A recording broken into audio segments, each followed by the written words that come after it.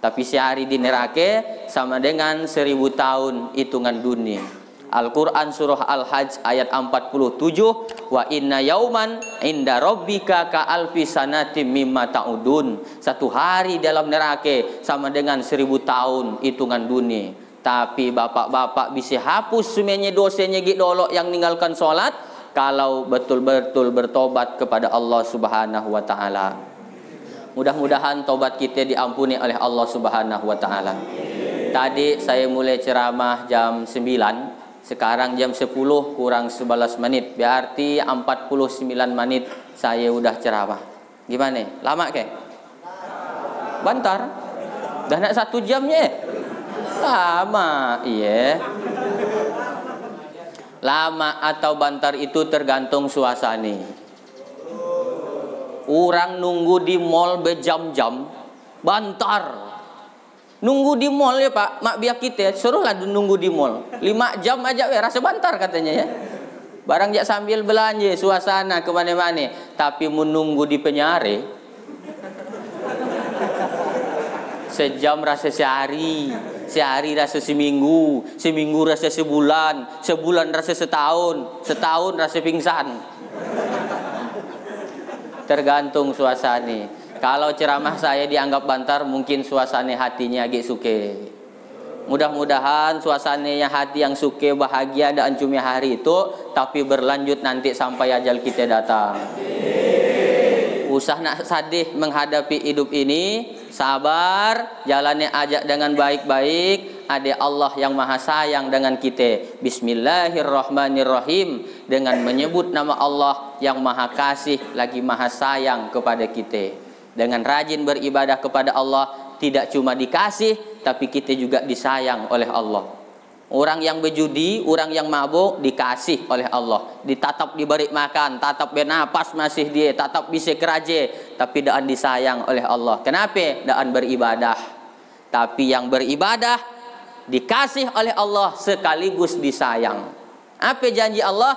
Innalladzina amanu wa amilus solihat. Sesungguhnya orang-orang yang beriman dan beramal soleh Ulaika ashabul jannah hum fiha khalidun Mereka itulah penduduk sorga Dan mereka kekal dalam sorga selamanya Bapak nanti di akhirat mau nak jumpa dengan anak bini Mau ke enggak? Mau di akhirat jumpa dengan anak bini nanti? Perbaiki ibadah kita, nanti anak bini kita juga diingatkan ibadah. Karena kata Nabi, almaru ma'aman ahab, nanti di akhirat kau akan bersama orang yang kau cintai.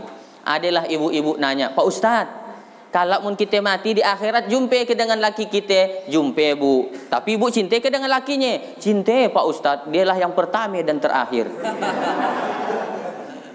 Sekali ah dia agak bapak nanya, "Pak Ustad, inyan kemun kalau kita mati di akhirat jumpa dengan bini kita." "Jumpa, Pak. Tapi aku dah anak jumpa, Pak Ustad." Nyapa dek, bini ku garang.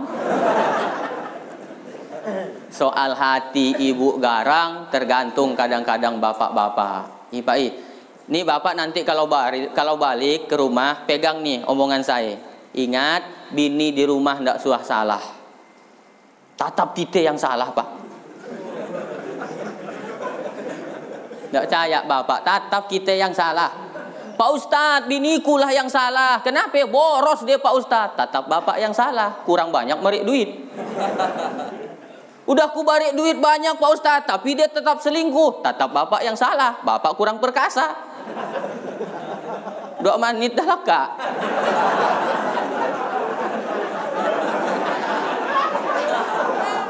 Udah Pak Ustadz, aku udah perkasa, aku barik dia banyak, tapi tetap dia suka nak keluar rumah. Tetap bapak yang salah.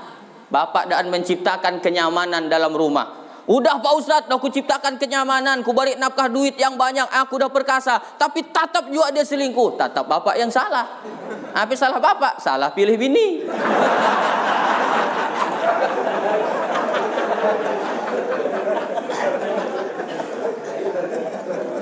Jadi kita di rumah tuh tidak suah benar pak. Jadi gimana cara yang ngadepi bini yang ngerepek tolen diam aja. Bila perlu tidur. Alekan dengan ngerepek payah nak tidur pak ustad ambil antimo makan tidur. Alekan dengan ngerepek. Lama-lama aja berhenti dia. Nah, sabarlah kita Pak I.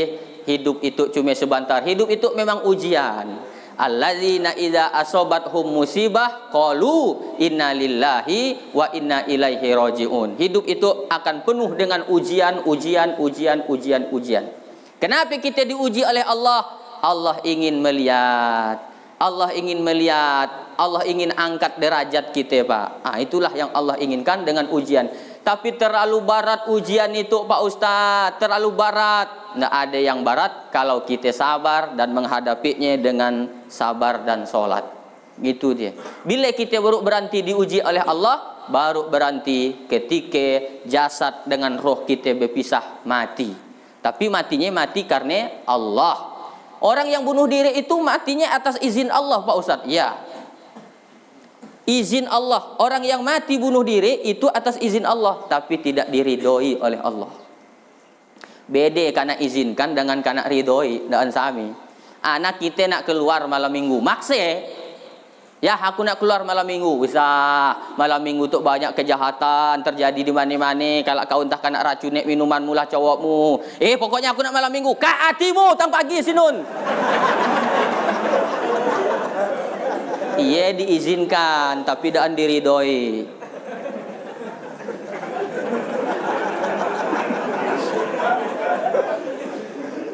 Orang yang mati bunuh diri itu Allah izinkan karena bahwa ma mim musibatin biiznillah. Ma mim musibatin illa biiznillah. Tidak ada sesuatu musibah pun terjadi di dunia kecuali atas izin Allah. Yang mati bunuh diri izin Allah tapi tidak diridhoi oleh Allah. Kalaupun kita mati, matilah husnul khotimah yang diridhoi oleh Allah Subhanahu wa taala. Sebelum kita mati, Pak, sebelum kita mati, ndak dicabut nyawa kita oleh Allah sebelum dinampakkan di akhirat mana tempat kita sorge ke neraka. Jadi sebelum nyawa kita dicabut, kita dilihatkan dulu nanti masuk sorge atau masuk neraka. Wah, gaya dia. Kalau Bang Erik misalkan isuk lusak mati, misalnya, baru nak misal dah pucat dia. Bang Erik ni waktu hidupnya baik, rajin bersedekah, dan suka nyakiti hati orang, dengan warga binaan pun ramah. Begitu nak dicabut nyawanya, ditunjukkanlah oleh malaikat pencabut nyawa pertama dilihatkan neraka. Neraka dengan segala azabnya. Ya Allah, kata Bang Eri. Kenapa aku masuk neraka ya Allah ampuni dosaku ya Allah. Malaikat pun senyum. Hei Erik. Itu bukan tempatmu yang sebenarnya. Itu bukan tempatmu yang sebenarnya. Yo, tempatmu yang sebenarnya ditunjukkanlah sorge dengan segala kenikmatannya. Nampak bidadari melambai-lambai. Erik.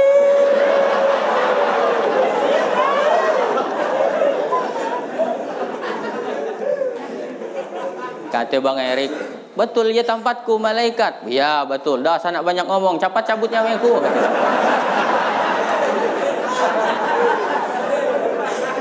Barang dah kena lambai bidadari. Orang mun suke masuk surga gara-gara bidadari, ia biasanya di rumah bininya jahat. tapi ndak panting muke bini itu bagus gila jahat gila sadang-sadang aja yang penting istiqomah imannya mun ada kawan tanggi ya muke binimu ialah yang paling istiqomah imannya gaya dia cara nyukekan hati orang laki yang bininya jahat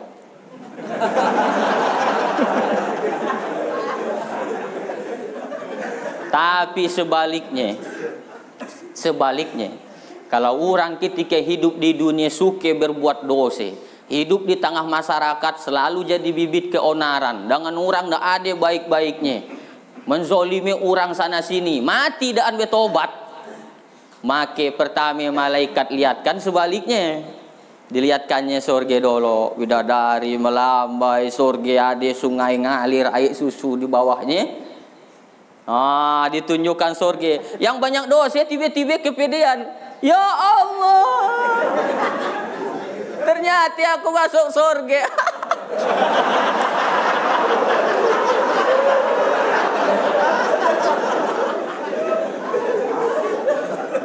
PD-nya. Kata malaikat, "Eh, kau sanak PD gilo Anton." Maaf, pun ada Anton di situ. Nah, itu bukan tempatmu yang sebenarnya karena kau di dunia suka membuat keonaran, ngacau orang, judi, mabuk tiap malam berzina, ngacau nak dari orang. Ya, tempatmu yang sebenarnya. Tunjukkanlah neraka. Kata Anton, "Eh hey, malaikat, ngapain kau tipu aku?" Karena dolok ketika kau hidup pun kau suka jual nipu orang. Kau jual bensin tapi kau campur minyak tanah. Kau beri tulisan bensin murni, kau campur minyak tanah. Eh malaikat, iya namanya biniku murni. Dah nak mati masih nak mulak kata dia.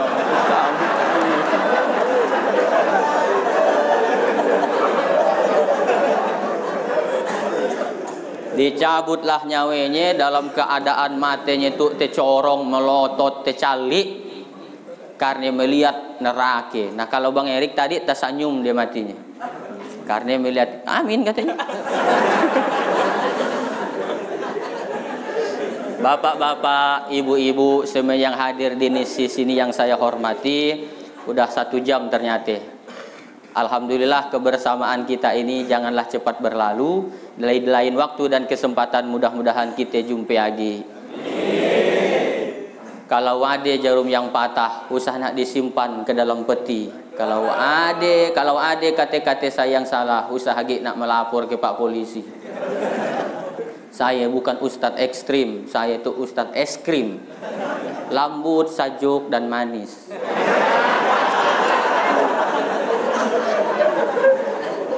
Aduh-aduh Siti Aisyah mandi di kali rambutnya basah sampai situ kita berpisah insya Allah jumpa lagi di lain kisah.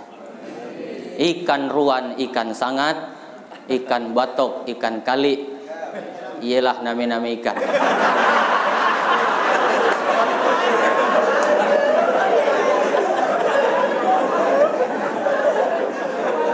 Sian kelanjutannya. Payah juga oi banton. Jadi kita ngumpulkan ikan aja demikian yang dapat saya sampaikan Bang Erik terima kasih Pak Karutanto yang mewakili terima kasih serta seluruh warga binaan saya ucapkan terima kasih dan saya mohon maaf kalau selama satu jam ini ada ucapan saya yang menyinggung perasaan, tolonglah dibukakan pintu maaf yang sebesar-besarnya. Mau ke Bapak Ibu maafkan saya? Dah, laka.